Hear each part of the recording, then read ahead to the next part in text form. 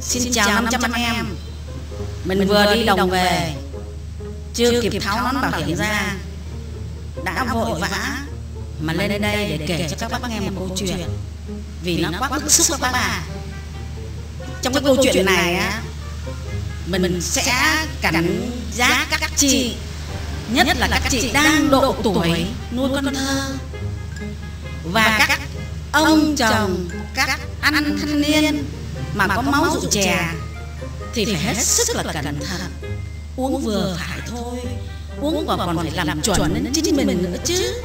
có đâu mà say sưa quá nhiều khi nó mất hay các bác à.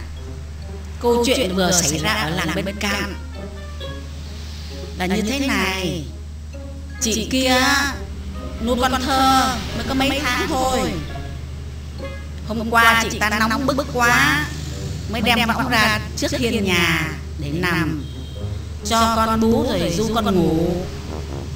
đấy gió thổi hiu hiu thế nào mà chị ta lại ngủ quên luôn? trong lúc ngủ say sưa thì cũng quên. lỡ bé hết cả đồ núi lên thế kia ngủ. thế ngay cái lúc giờ lên đấy thì lại có một cái anh chàng đi đám dỗ về say rượu. đi ngang nhà chị ta thấy chị ta thì đang nằm trên võng cho con bú. thế anh này vào ngồi cạnh bên võng. nhìn chị ta một lúc lại nhìn đứa bé một lúc. sau khi thấy tình hình im ắng quá anh ta lại thấy chị ta hớt lên quá. Lại à, không kìm lòng được. Anh ta lại nhớ mới làm trộm cái bình sữa bên kia. Bác à? Thế mới khổ chứ. Thế là vừa say rượu, lại vừa say mồi. Thế anh ta ngủ quên luôn. Gục ngã trên đồi cỏ non các bác ạ. Thế là chị kia ngủ một lúc, chị ta giật mình thức dậy. Bỗng thấy có một anh chàng dâu ria còn hơn cả dâu của tôi nữa đấy. Đang ngã gục ở trên chiếc võng đấy. Chị ta hoảng hốt, la làng bữa người ta ăn trộm bữa người ta ăn trộm bữa người ta ăn trộm thế là anh chàng say rượu bừng từ cơn mơ. Co chân chạy mất già. thế là chị ta tức quá. thằng này nó dám xâm phạm quyền trẻ em cơ. sữa mẹ là nguồn dinh dưỡng tốt nhất cho trẻ nhỏ.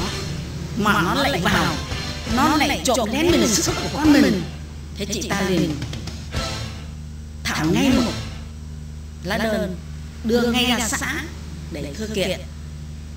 thế là xã chịu tập cái anh trà trà say rượu này lên.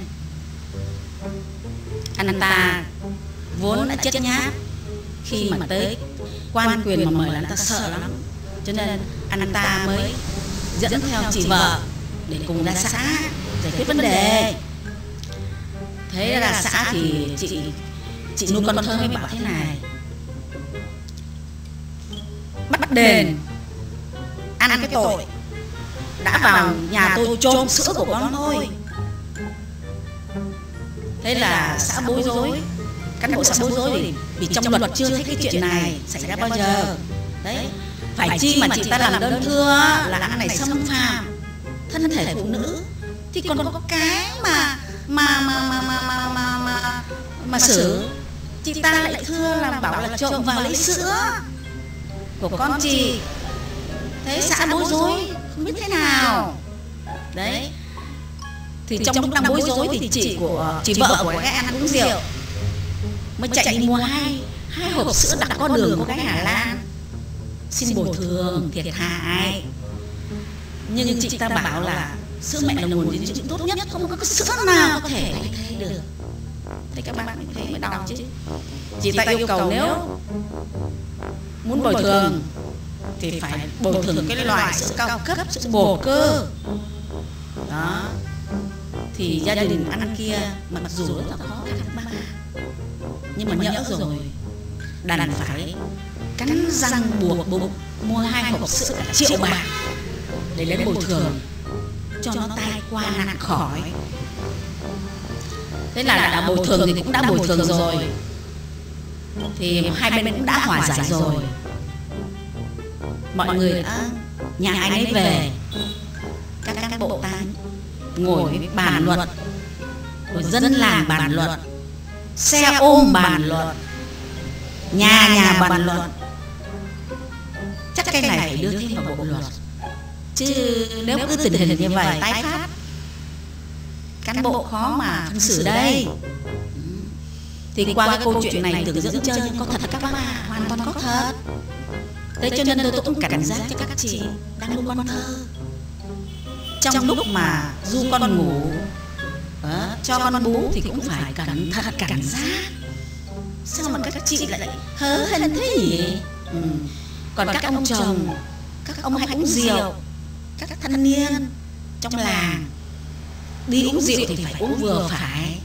Để con làm chủ chứ làm chủ chính mình chứ. Còn nếu mà các ông á, mà thấy là mình không uống rượu vào là không có làm chủ được mình á, thì tôi có lời khuyên đem hai hộp sữa cao cấp nhét vào túi quần. nhỡ có chuyện gì có mà bồi thường kịp thời. Câu chuyện tôi kể các bác nghe. Thì mọi người cứ cho em cái bình luận ở dưới xem các bác cảm nghĩ chuyện này như thế nào. Chứ em cũng bức xúc quá. Đi về phải kể ngay. chưa kịp giờ nó mà hiện ra. các bác ạ thôi bây giờ cũng đói rồi. kiếm tí cơm mà ăn chào tạm biệt mọi người nhé